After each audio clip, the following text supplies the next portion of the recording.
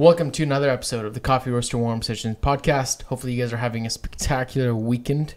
If you're listening to this as soon as it's dropped, or weekday, or evening, whenever you're listening to it. Today, we heard somebody's listening to it as they're washing their dishes, Yes. which is remarkable. Uh, whether you're driving in the car or I don't Mm. know, who knows where. So, Hopefully, you're having a good day. Hopefully, Dude. things are well. soaking your feet at the end of the night. I like it. having a cold one. Yeah. I like Yeah. it. That's fair. That's great. Well, let's pour some batchy. I could really use some batch actually. I'm I'm tired for some reason. I mean, not You- for some reason. I've been in I've- this I've done- office for going on, oh, not five hours yet, but a little over four. I think other than today, the last two days have been 15, 14 hour days for me. Ooh, this is tasty. This is a geisha. this is nice. Yo, dude. I mean, mouthfeel, texture, sweetness, balance, everything's there.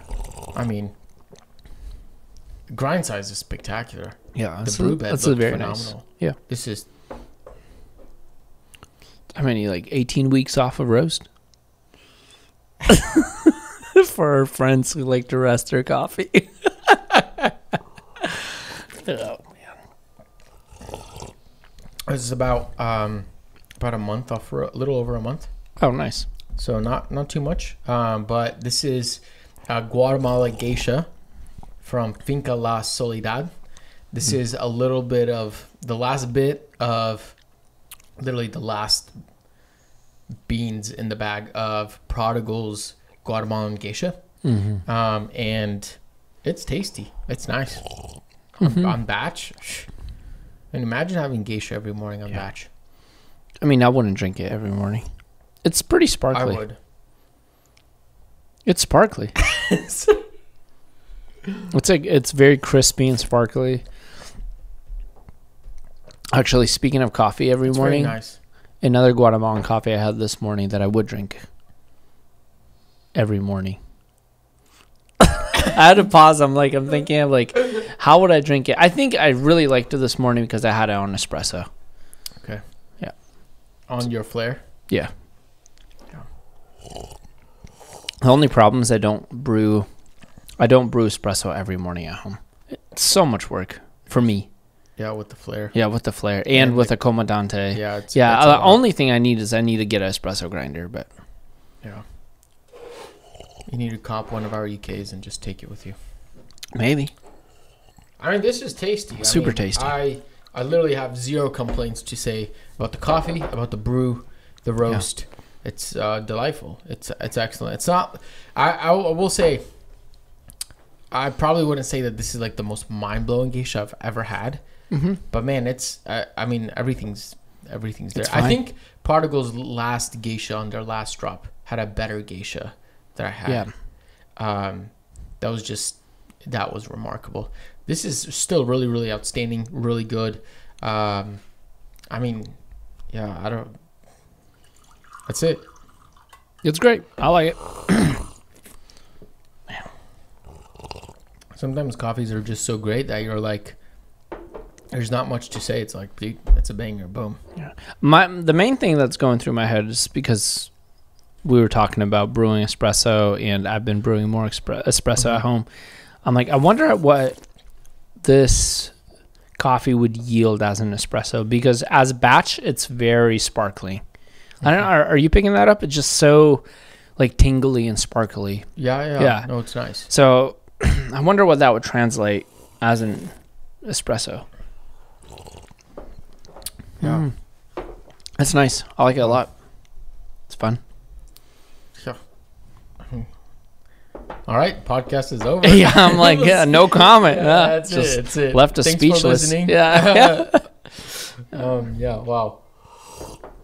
This is remarkable. Well, I'll stop uh, raving about this beautiful, delicious brew, um, and we can get right into it. Um, Sergi, you uh, not too long ago came back from Chicago.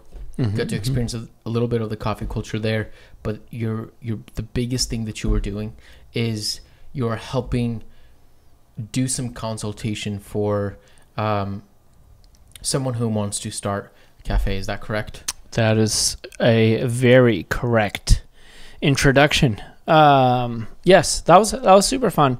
Uh, I've never done a trip for like a meeting. I've never done that before. That, was my like first. 48, 72 hours. Less. 48 hours. It- my turnaround time was 28 hours. That's insane. Yep. I flew in one evening, took a red eye, came back, then follow left the following. Yeah, it was something a little like about 30 something hours actually.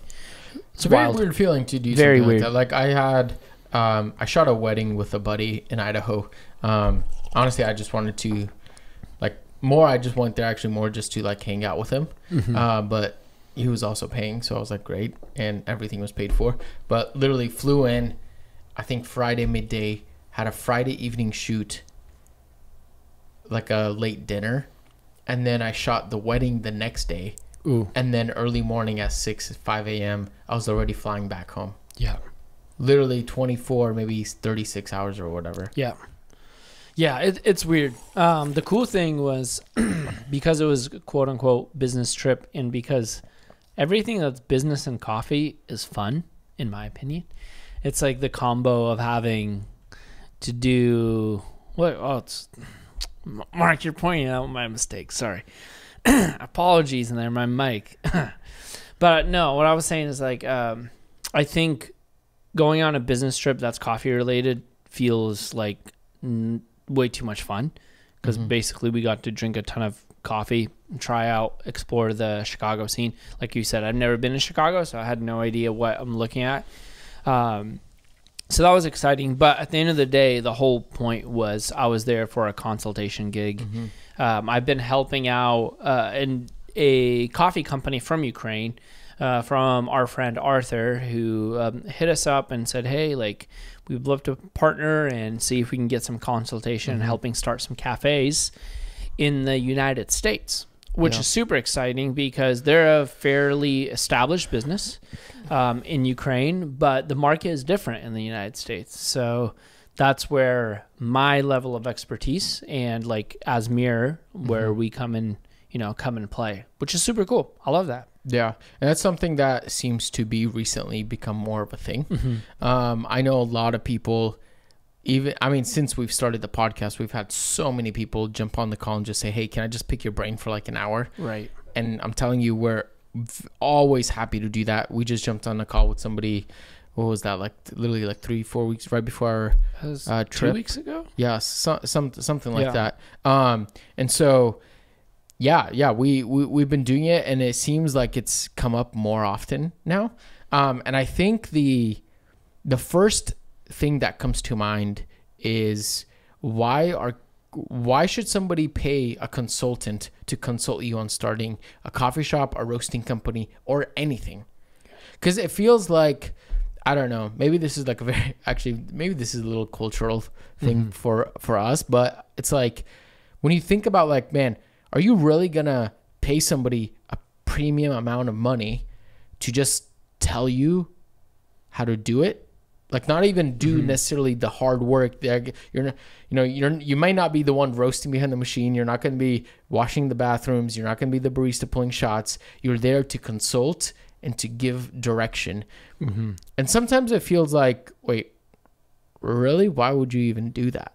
i mean Because it's why would you pay so much money Yeah. for somebody to just tell you on a Zoom call? Like, can't you just Google it? Can't you just research it? mm-hmm. And I will say, um, and uh, you you can share much more, but what I, where I was going with that is like at face value, it seems kind of weird, but it's also not a it's not a foreign thing. Yeah. In for example, whether that's the VC world, like venture capital, whether that's in startup world, whether that's um, anywhere, this is actually pretty normal yeah um, and simply because there's a lot of value here and i think in the coffee world we haven't that hasn't become really a thing that's popular yeah. um, for multiple reasons but anyways question to you why is it even important to pay a consultant to come consult you and give you advice on starting a coffee shop or a roasting company I mean, one, I gotta say this. It's it. It just comes down to resources, right? Um, some people have the resource of time and uh, the availability to, like you were kept posting on social media about the fact that you know getting a job is like being um, paid to educate yourself um, because you're gaining Mhm. experience and you're learning. You know, other folks have more of the resource of like money, so they're using the resources that they have to gain some of that experience that they don't have time to gain, Mhm. right?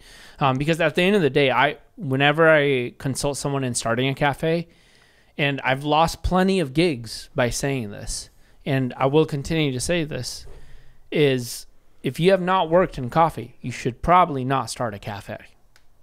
That's kind of in my opinion, that's kind of the given. Simply because there's so many nuances to the business. Um, there's so many experiences that we as baristas have had, and then maybe as managers, and then some of us who became cafe owners have that are these experiences are not written in books. And the best way to learn those experiences is to experience them. But the, I, I get it. That's not always like that's not always the luxury to have that time. Like I've worked in coffee a little over six years now. Mhm. I've been part of uh, four or five five startups now. So those kind of experiences help inform me with information that you can't really read in a book. So when it comes to consulting, like why would you want that? Well, you want to learn from those experiences, and the best way to do that is to bring in a person who's done it. That's as simple as that. You're kind of buying someone else's experience. Why is that? Why is that even important? I mean, sheesh. I, I so many reasons. I mean, the main reason is a lot of the stuff that I've experienced behind bar is not written about in some kind of manual. So you get to learn and you get to understand what's happening in a cafe setting that you wouldn't be able to get from any other form of education. Let's play the other side. What's a person losing out on? Yeah. What's the worst case scenario of not bringing somebody on? Ah, pff, easy. Going into a very expensive, low profit endeavor with absolutely no sight, blindly with a blindfold on. and what's the wor- what's why is that bad? Uh, wow. Uh, imagine uh, driving a car even at 20 or 30 miles an hour without with your windshield being completely covered. It's going to be a disaster. So why is that bad? You're gonna lose money. You're gonna lose people. You're gonna hurt people. You're probably uh, not gonna run a successful business. I feel like a lot of folks that I've talked to, this is my experience again, um, are wanting to start a cafe. One because they've seen other people do it, so they're Mhm. like, "Oh, that's fun." And then the other reason is they literally have money that they want to invest, which Mhm. two both both two very good proper un- understandable reasons but at the end of the day they don't always yield very positive results because Okay. you are walking in blindly so you, a lot of things can go So wrong say you've already worked a few years behind Mhm. bar. Let's say you've worked even at a roastery as well. Do you even need a consultant? of course Why? why because there's other people who have more experience than But you But now do. your blindfolds off, right? You can see. Well you you so imagine now if your windshield was completely covered with mud. Imagine you took that mud with those windshield wipers and just smudged it. You can probably see different shapes and different lights and different stuff through your windshield but the road is still hard to see. And if a deer pops out in front of the road you probably won't see it. So listen, I my head, maybe because of the work that I do, everything I think about, like when I hear something, I think in terms of images and videos. yeah Obviously, because I make videos Yeah, for a same. living. Um, and the only thing I can imagine and think about is the classic old. Uh, this is like something you only see in the movies. Like this is like just a lost. This is a lost art. This is a lost image that they don't even put into movies anymore. Unfortunately, the guy who picks up the newspaper and there's two holes. yes yeah yeah Isn't that an iconic Yeah. image?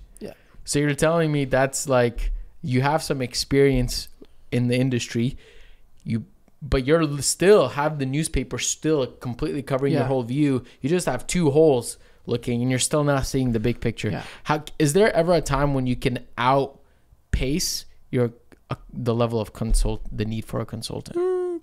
Yeah, I I would say so. Like at some point, uh, if you've established multiple businesses in the market that you're now familiar with, you probably don't need. Again, the reason I bring up the whole driving and the car example visual is because a consultant is not the person driving the car. Yeah. You know, um, literally the consultant is whatever's helping clear up the windshield. Maybe even the GPS. Yeah, maybe. Yeah, the consultant is not driving the car. Yeah. They're not behind the wheel. They're not doing any of that.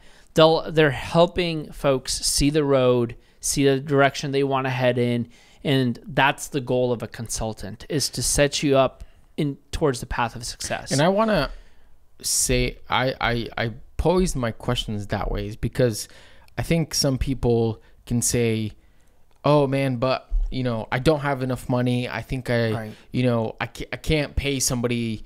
You know these ridiculous rates that you can you know find of coffee consultants. I can't afford this. Like I'm just trying to make ends meet. Like all this stuff, which I totally understand. that Listen, I come from a small business background, very much so from my dad, my you know all my relatives, um, myself. Like, I I get that, but what you're saying, I'm assuming, is that even though there's an upfront weird uncomfortable charge there's actually a bigger uncomfortable experience is going in saving that consultant rate but then you know hurting your employees uh, not knowing where to start running into bumps that are completely unforeseen by you potentially losing your business losing your investment money that you invested into this. The the downsides are potentially like eh, pretty big yeah, like this is uh like a big deal yeah, and this is probably why people actually, in most business worlds, this is why people actually have mentors and Yeah. why people recommend, hey, if you want to start a business, you should probably surround yourself with people who are doing what you're doing, but they're 10 steps ahead. yeah, for sure. And to be honest, I think, like, we talk about this quite often, but we started the podcast because we wanted to give a resource that we saw did not exist, or at least in a lot of volume. And we wanted to offer that to people which is cool now because now some like well, I, we just received a dm last week saying hey i've been working in coffee for actually several years now but your podcasts are encouraging me are giving me direction and clarity. Yeah. and i'm like yes that's what it's for. Um, because that's i mean that that's important even things like there are things that even after we started mirror and after we started the podcast that i would actually wish i could go back and potentially adjust it and say hey no you think this is how you do it but there's actually not that that's wrong but there's a better way Yeah. of doing it And I think a lot of the times consultants are really good at asking questions. So it's not necessarily about asking, giving all the right answers. It's positioning uh, both parties, the consultant and the person that's receiving consulting, into a place where they can have dialogue and be able to almost play like devil's advocate in certain times and then propose a um, different like perspective that may not have been seen you know uh, like like you said at the end of the day it's like dude do you want to total your jeep that you're off-roading on or do you just want to invest into some very good windshield wipers some liquid to clear up the vision so you avoid that massive accident? You know what i mean? I would say one of the i mean for us as well as, as i'm thinking about this like we we received consulting and coaching ourselves from other people in the industry. We did have experience going into this but we knew that our experience is not enough to just straight up start a business from scratch. Um, we also had very unique situations so we needed advice on you know where and how do we roast uh, where do we start with that? We both had roasting experience but it was much different than our um, coach's experience. So we brought people in to help and assist us and to give us a point of view that was way different than our experience had. And that was very intentional. That it literally i think if we would have um, not done that and went trial and error and finally realized that no we actually need that person's opinion we would have been so far behind. It would have been awful. Yeah. And the that's another point worth making is that it may not be like your case might not be life or death. Like Yeah. it's either you go out of business or you stay alive. Even though sometimes that is actually the Right. case. A lot of times also it's like, well, do you want to learn the very hard way? That's a good point. or do you want to make this a little easier? And listen, running a business is already hard. There's mm-hmm. no e- there's no way to make it absolutely easy, but you can make it easier and you can make it harder on yourself. And having a second opinion that's already more well-rounded, more experienced actually allows you to bypass some of the things that you know they've learned along the way they had to go through the, all the trouble of learning that. They're now just excuse me they're just passing that on to you now. Yeah. that's huge. You could save time energy you could save a lot of money. Mm-hmm. And I think with that, like when you're looking for a consultant, one of the main things you got to consider is like who do you jive with. Mm-hmm. That's a big thing. Like because you don't want to start from scratch. You don't want to hire someone or bring someone in that you um, that just doesn't have the same ideology as you, right? Um, you want to have some similarity, some common ground, and then Yes. at the at the end of the day, you want to make sure that you can kind of build together and not just bring in a consultant that maybe you had no connection to, no recommendation, and you're like, well, it says coffee consultant sold, Yeah. like, and Yeah. then you have to basically kind of fight your way through it. You will spend a lot of time doing that, and then you eventually will spend a lot of money and be like, man, this coffee consulting thing is a scam. yes When in the reality is it's not a scam. You might have not chose a compatible person for your business, for your values and what you're looking to do. And that's why it's also important to have that starting point. Like mm-hmm. We're not saying go into this blindly. We we're saying also like do your research, like kind of prepare for hiring a consultant. But then also there's other things that are happening that you are probably not aware with. And having that second point of Yeah. view, super beneficial. and i think also to to play kind of devil's advocate on that point and this might even make things a little more complicated but also not re- also realizing that just because you found somebody who might think like you who might jive with you that may not be actually the most important Fair? Yeah. because they might have the same blind spots that you have Fair. where it's also sometimes very important to have somebody walk in and say no no this is you're actually not you're you may not be doing things 100% wrong but there's a way more better or may more profitable or you know a faster way to do something. And so you have to be able to weigh a little bit of those those odds you know? Um yeah that's that i think i think that's a big caveat. I think i think adding on to that is um something i've heard is that the difference between you and somebody that's really really successful of course there's a lot of differences um how you know your work ethic you know all, all just just a lot of things. But i think a big thing is knowledge. Mm-hmm. Like the people who are w- running a way more successful business than you just know things that you don't know.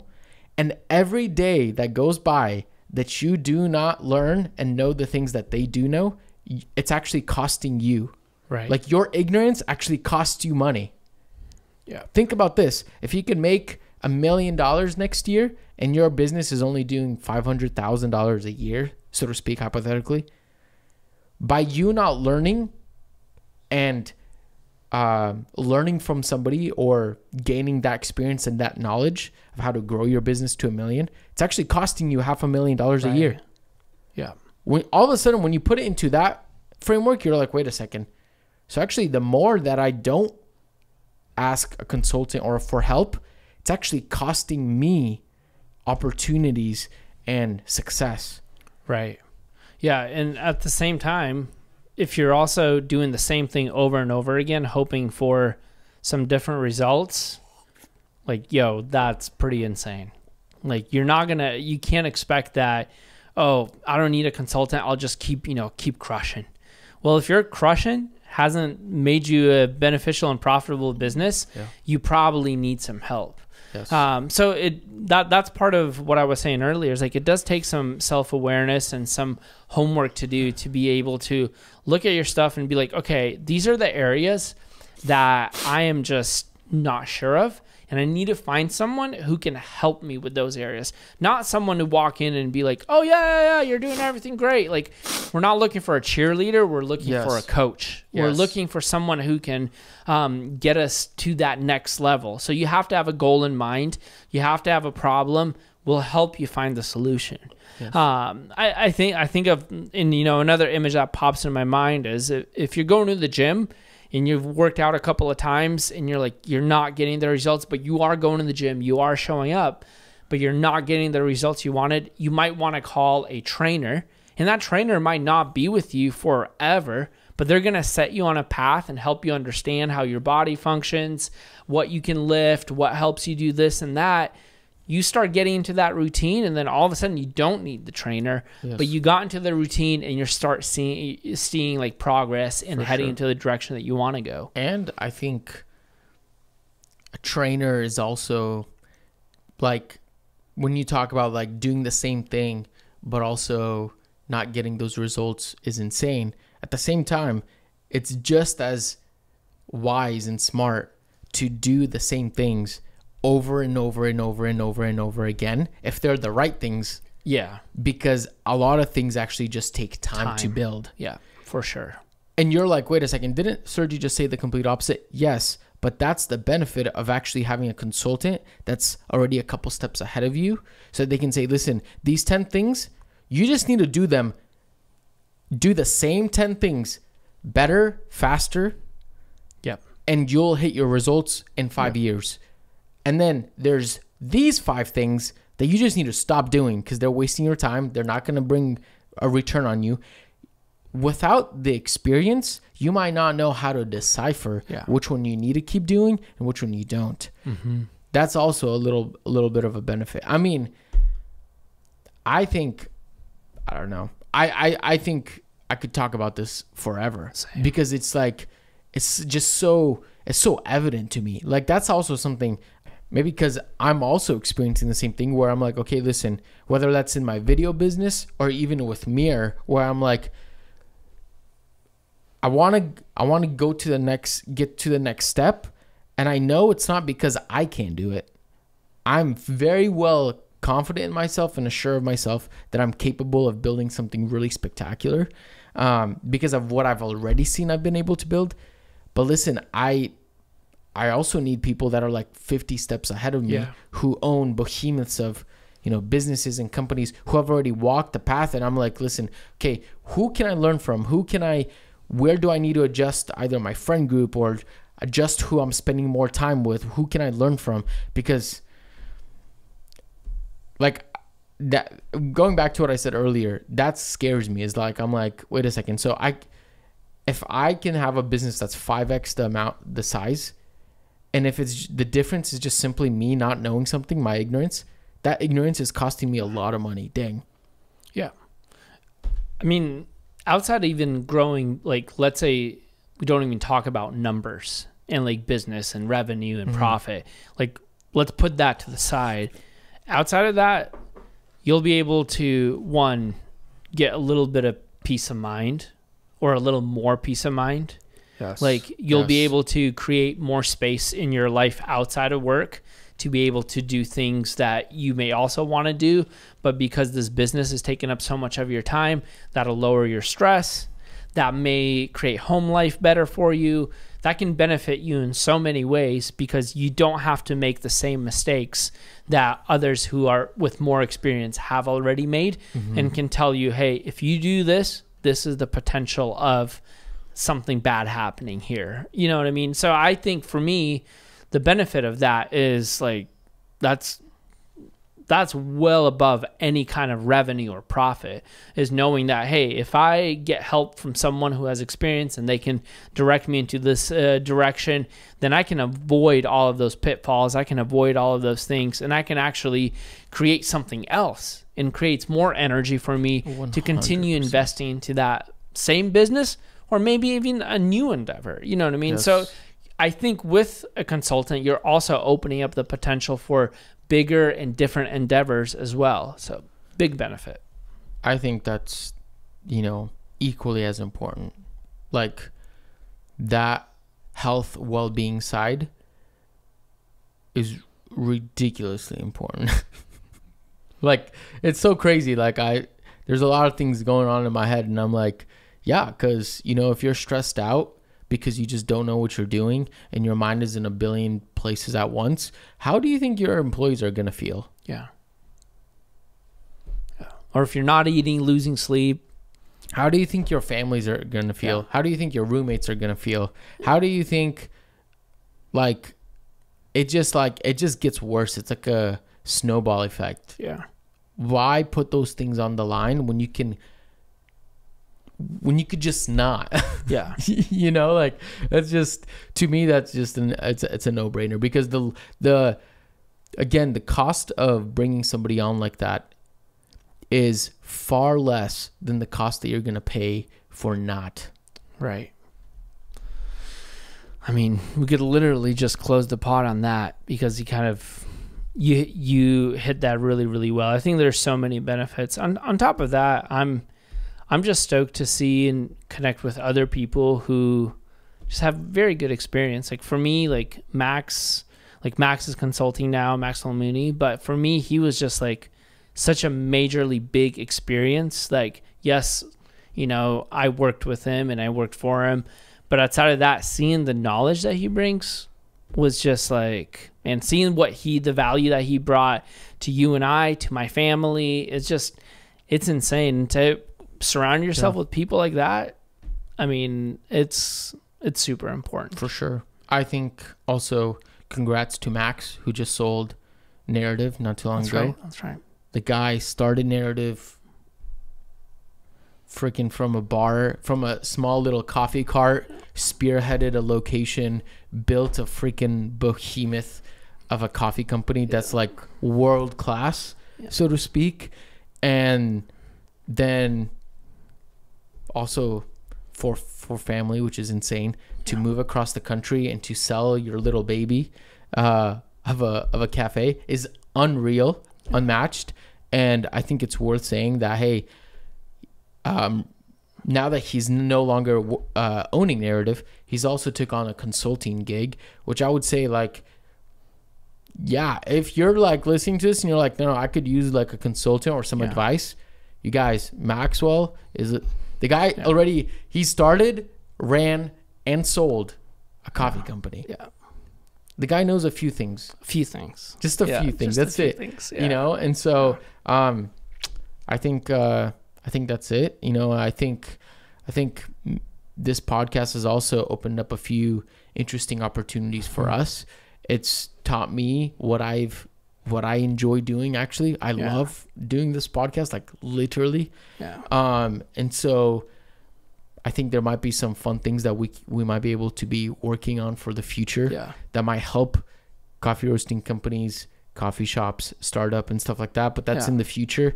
Um, so There, there's a ton of fun projects. I mean, Yeah. r- we recently got off the phone from that one project that's local here mhm. that I'm talking to. Um, there, there's a ton of like again, like you said already, the podcast has been a great resource, and I'm I'm super stoked to talk with folks who are super passionate about coffee. At the end of the day, that's I, I feel like every day in the cafe or every day on the phone or every day through FaceTimes, like the, the people that we've gotten to meet, I'm just man, I love this coffee stuff. I love the business side of it. I love like you say it's a game. It's super fun. it's a game. Yeah, that's super exciting. So Yeah.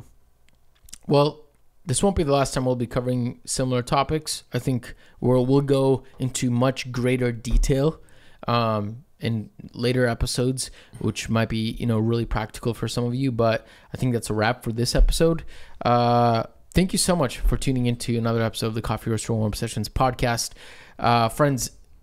I don't know, share this with somebody who might need, you know, is thinking about starting a cafe. I, I think this would be very valuable yeah. to send to somebody. So give that a send, give that a share. But uh, I think that's a wrap. Tasty little geisha today on on a tasty little episode. Let's freaking go. There you have it, folks. As we always say, reflect what's good.